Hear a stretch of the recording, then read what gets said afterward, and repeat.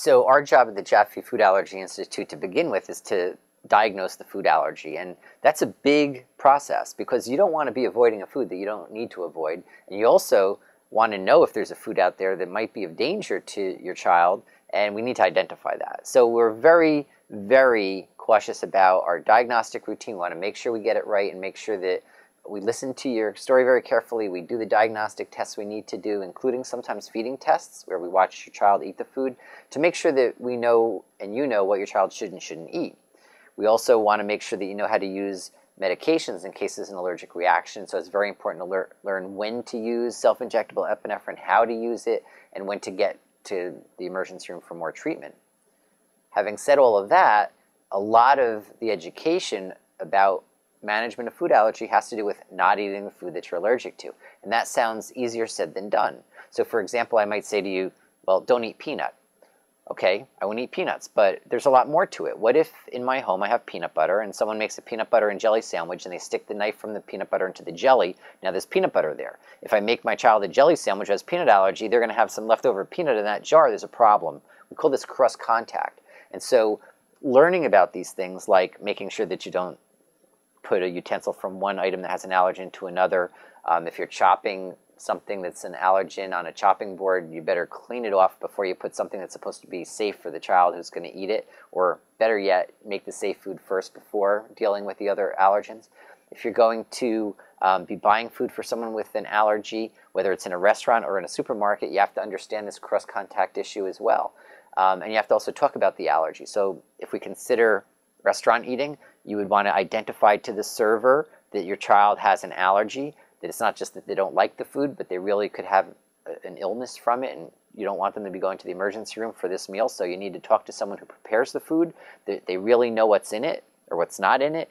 Make sure that they understand about cross contact. So if they were, if you have a child with a milk allergy and they are making a cheeseburger on the grill, and then your hamburger that's not supposed to have milk on it is right there and gets cheese on it, there's a problem. So they need to know all of those details, and you have to really have that full discussion about allergy in the restaurant and not just go by what the menu says, but really talk to them. And then when you're buying products, you have to read the label and you have to read it every time because sometimes ingredients change.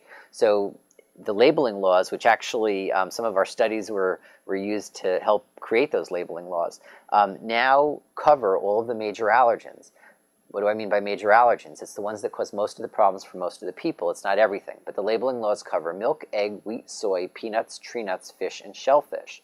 Those are the ones that cause most of the trouble. And now it has to say in plain English on the label if it's an ingredient. So if it's a milk ingredient, it has to have the word milk somewhere. If it's egg, it has to have the word egg. If it's nuts, it has to say what kind. So like walnut, almond, or Brazil. If it's fish, it has to say what kind, like tuna, salmon, or cod, or shellfish, shrimp, or lobster. Now, there are some things that are not covered by the labeling laws, every other food.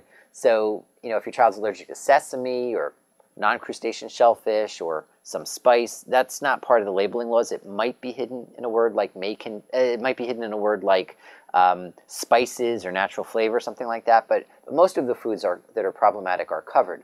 The other thing about the labeling laws that's not totally covered is what we call advisory or provisional labeling. You've probably seen may contain peanuts or in a facility that contains peanuts.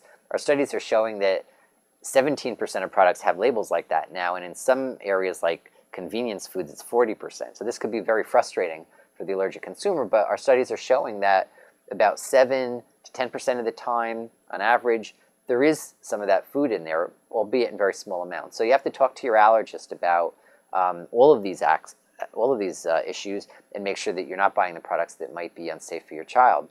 Um, having said all of that, I want to also point out that it's very important to talk to a, a board-certified allergist about this, whether you're coming to the Jaffe Institute or not, because as you can already tell, there's so many nuances in day-to-day management, especially for a child who's going to school or camps, and all of these provisions have to be translated to those places as well when a parent isn't right there.